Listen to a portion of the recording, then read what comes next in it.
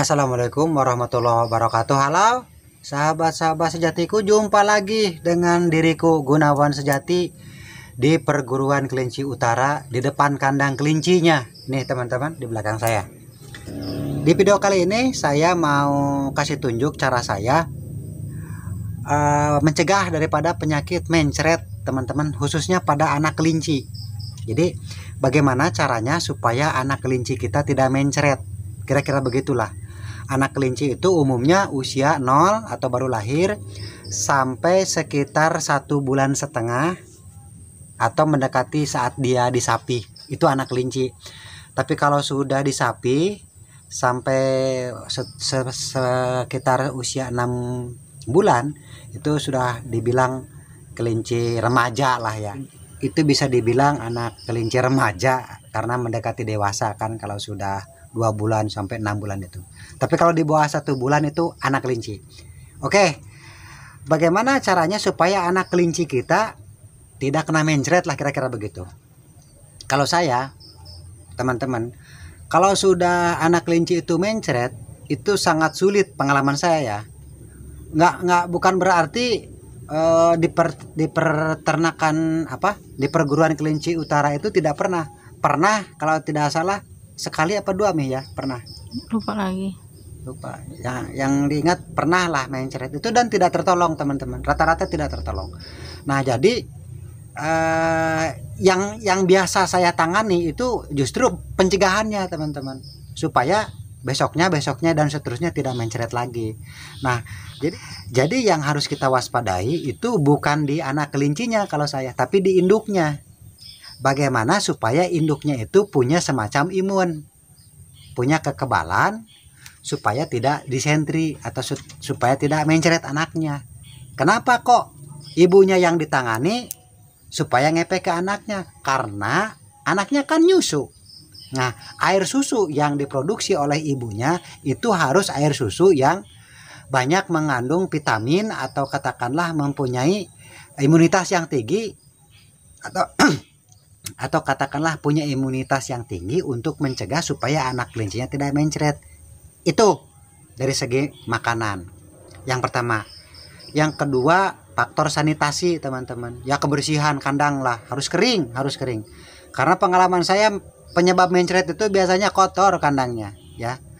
Arti, arti kata ya banyak uh, apa kotoran, kemudian air kencing becek di bawah, kemudian Eh, sampah-sampah uh, yang makanan-makanan sisa yang tidak dia makan itu kan keinjek-injek injek-injek itu jarang dibuang. Biasanya numpuk banyak seperti itu.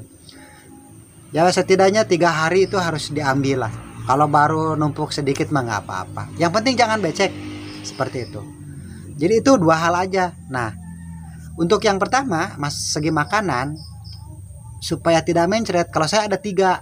Tiga makanan atau katakanlah rumput-rumputan atau dedaunan yang sering saya berikan. Yang pertama pepaya, daun pepaya teman-teman. Tuh di sana sudah saya persiapkan. Yuk ke sana yuk.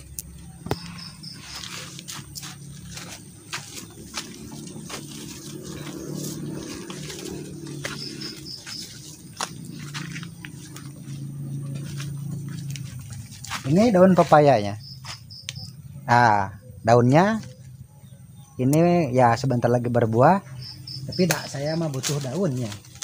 Itu yang sering diambilin sampai sudah buntung begitu tuh. Itu juga sampai sudah mati tuh pepaya. Oke? Yuk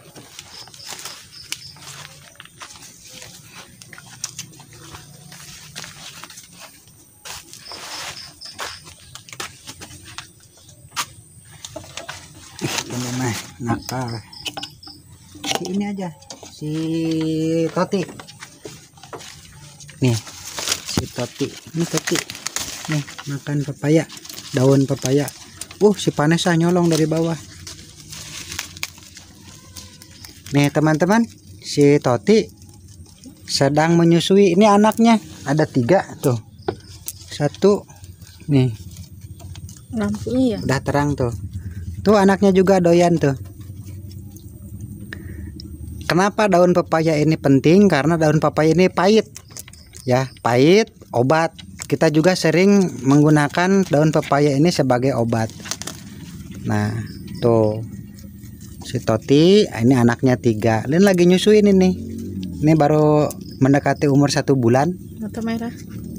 bukan ini yang mata merah mah nih Oh. nih Oh iya, mata merah mata merah. anaknya si mata malaikat nah sekarang selain daun pepaya ini daun pisang. Ya teman-teman. Daun pisang yang saya persiapkan khusus untuk makanan ibu-ibu. Ibu-ibu kelinci atau emak-emak kelinci yang lagi menyusui. Saya pangkas aja. Karena biar gampang ambilnya kan. Tuh.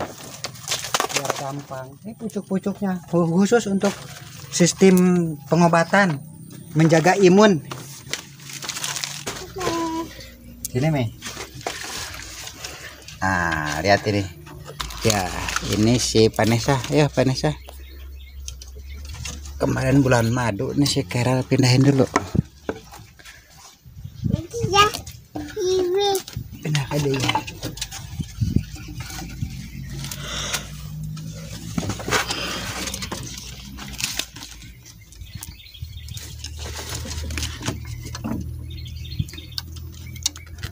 Nah, teman-teman bisa lihat tuh si Vanessa the legend sudah mulai makan daripada daun pisang. Dan ini bisa dilihat nih anaknya.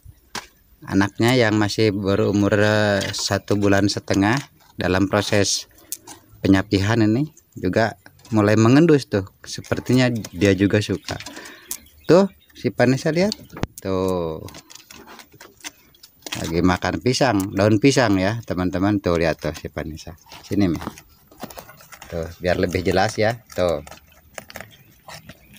Jadi sering-seringlah ngasih ini teman-teman. Kalau saya ya ini mah Anda coba silahkan. Tidak pun tidak apa-apa. Nih lihat. Ini yang sering saya berikan daun pisang. Supaya apa? Supaya susu dari pada si Vanessa itu mengandung semacam imun pencegah mencret. Ya nanti kan susunya disedot sama ini nih nah sama si ini anak-anaknya tuh.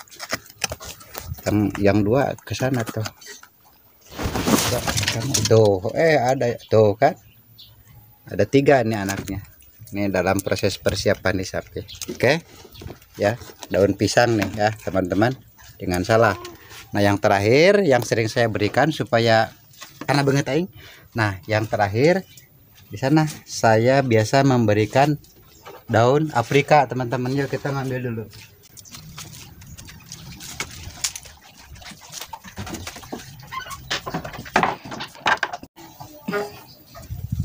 Nah, ini teman-teman daun Afrika yang saya persiapkan untuk eh, dikonsumsi oleh kelinci, khususnya kelinci yang sedang menyusui. Seperti ini aja caranya.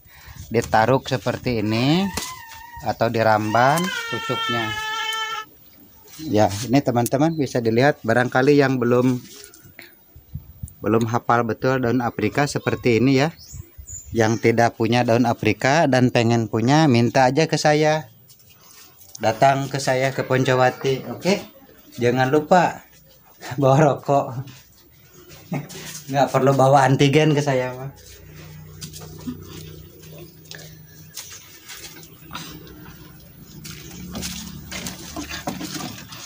eh itu isi ada gigi itu tadi nah ini teman-teman coba nih si mama Toti Toti nih lagi menyusui juga mama Toti tuh bisa dilihat teman-teman tuh Mama Toti sekarang sedang makan daun Afrika.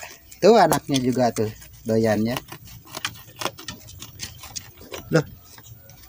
Kok cuman satu? Oh ini. Nyumput anak-anaknya tuh. Nih. Doyan juga tuh anaknya.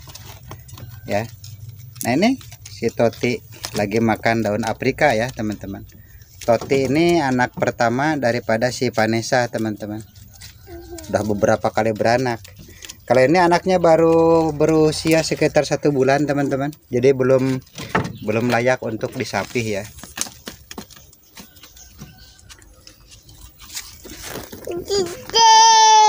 aduh pan kalau ini anak saya Tian Santang.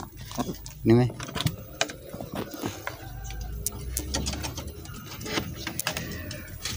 Oke teman-teman, jadi sekali lagi saya tegaskan bahwa sering-seringlah atau saya mah sering memberi tiga jenis da- dedaunan tadi ya untuk mencegah daripada anak kelinci mencret ya. Contoh anak kelinci ya ini, nih. Ini anak kelinci sehat teman-teman tuh. Lagi makan. Aduh, lagi makan apa ini? Lucu, lucu teman-teman. Karena banget aing kan tuh. Tah. Hmm, hmm, hmm. Lucu teman-teman anak kelinci. Baru satu bulan ini usianya. Belum layak disapi, masih nyusu, nyusu terus. Sama kayak yang punya suka susu. Ayo.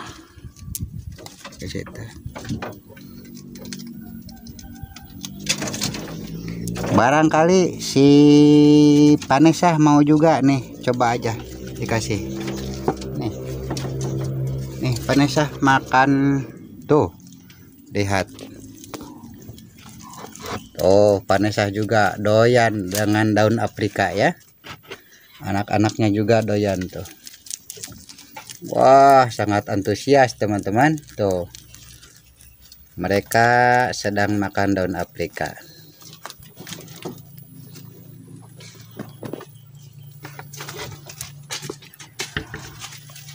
Oke teman-teman, jadi eh, sekali lagi saya tegaskan tiga jenis dedaunan tadi yang sering saya berikan kepada ibu kelinci atau emak-emak kelinci yang sedang menyusui. Diharapkan air susu ya, air susu yang diproduksi oleh ibu kelinci tadi itu kan otomatis akan dikonsumsi oleh anaknya dan diharapkan juga air susunya itu mengandung semacam pencegah pencegah daripada kuman-kuman baksil-baksil mencret. Seperti itu. Oke? Dan atuh sayang. Gremben.